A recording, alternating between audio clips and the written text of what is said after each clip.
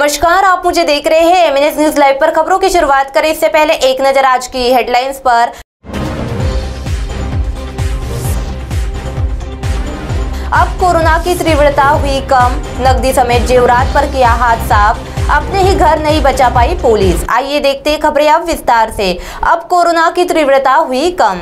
अब ज़िले में कोरोना की तीव्रता लगातार कम होती जा रही है। हालात सामान्य होने लगे है। संडे को ज़िले में तीन सौ सत्तावन नए पॉजिटिव मरीज़ मिले, जिसमें से 220 सिटी के और 132 ग्रामीण भागों के हैं। वहीं पाँच ज़िले के बाहर के हैं।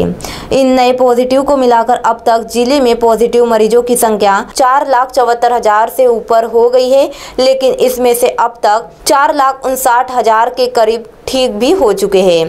दैनिक संक्रमितों की संख्या में काफ़ी गिरावट आ गई है, जिससे स्वास्थ्य यंत्रणा और प्रशासन राहत महसूस कर रहा है। संडे को ज़िले में कुल तेरह लोगों की मौत हो गई। इनमें से सिटी के पाँच और तीन ग्रामीण भागों के हैं, वही पाँच ज़िले के बाहर के हैं। इन्हें मिलाकर अब तक आठ कोरोना की बलि चढ़ चुके हैं। इसमें पाँच हज़ार दो सौ सैंतीस सिटी के और दो हज़ार दो सौ अट्ठासी ग्रामीण भागों के हैं। दैनिक में जाँच में पॉजिटिव आने वालों का प्रतिशत संडे को 2.5 प्रतिशत रहा। बता दें कि अप्रैल महीने में पीक समय में यह 30 प्रतिशत से ऊपर चल रहा था। हालात बेकाबू हो गए थे। लोगों को अस्पतालों में बेड ऑक्सीजन नहीं मिल पा रहे थे। तो वही दूसरे और नकदी समेत जेवरात पर किए हाथ साफ़ हिंगना थाना क्षेत्र में चोरों ने एक घर में सेंध लगाकर नकदी समेत जेवरात पर हाथ साफ़ कर दिया। पुलिस ने वार्ड क्रमांक चार निवासी नरेंद्र चरणदास मेश्राम की शिकायत पर मामला दर्ज किया है। जानकारी के अनुसार शनिवार की रात नरेंद्र और उनका परिवार सो रहा था। इस दौरान रात बारह बजकर तीस मिनट पर अज्ञात आरोपी ने घर के कंपाउंड में प्रवेश किया। किचन की खिड़की से हाथ डालकर दरवाजे की टिचकनी खोली और भीतर प्रवेश किया। फ्रिज पर अलमारी की चाबी रखी थी। आरोपियों ने चाबी से अलमारी का ताला तोड़कर नगद अस्सी हज़ार रूपए और सोने चांदी के जेवरात सहित सहित दो लाख अठारह हज़ार रूपए के माल पर हाथ साफ़ कर दिया।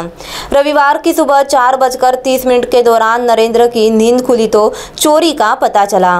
उन्होंने घटना की जानकारी पुलिस को दी। हिंगना पुलिस ने अज्ञात आरोपी के खिलाफ मामला दर्ज किया है।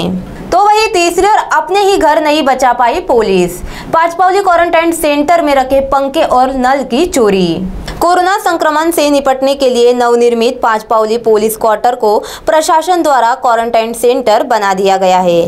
पिछले एक वर्ष से जहाँ क्वारंटाइन सेंटर चल रहा है, पांचपावली पुलिस थाने के बिल्कुल बगल में स्थित शासकीय निवास स्थान में अज्ञातों ने चोरी की। क्वार्टर में लगे सीलिंग फ़ैन एक्सॉट फ़ैन और नल चोरी कर लिए। निश्चित ही यह काम यह क्वारंटाइन होने आए कुछ लोगों ने ही किया होगा, क्योंकि बाहरी किसी व्यक्ति का यहाँ प्रवेश निषेध निषेध है। फ़िलहाल पूरा परिसर महानगर पालिका के सुपुत्र किया गया है। इसलिए मनपा आसीनगर जोन के कर्मचारी संदीप समुद्रे की शिकायत पर पाँच पावली थाने में मामला दर्ज किया है। यह आश्चर्य की बात है कि पुलिस के क्वार्टर से सामान चोरी करने की हिम्मत चोरों ने जुटा ली। जबकि बगल में ही पुलिस थाना है और यहाँ सुरक्षा के लिए पुलिस की तैनाती भी होती है। अब आप हमारे चैनल को ऐप पर भी देख सकते हैं, प्ले स्टोर में जाकर एम हिंदी लिखे और ऐप डाउनलोड करें। साथ ही साथ आप हमारे फेसबुक पेज को भी लाइक कर सकते हैं और उन पर भी खबरें देख सकते हैं। लिंक ट्विटर हाइक इंस्टाग्राम पर भी आप हमारी खबरें देख सकते हैं। आप हमारे चैनल को यूट्यूब पर भी देख सकते हैं और इसे यूट्यूब पर सब्सक्राइब करना ना भूले। अब फ़िलहाल वक्त आ चला है एक ब्रेक का। ब्रेक से लौटने के बाद देखते देश और दुनिया की तमाम कुछ खास खबर। धन्यवाद।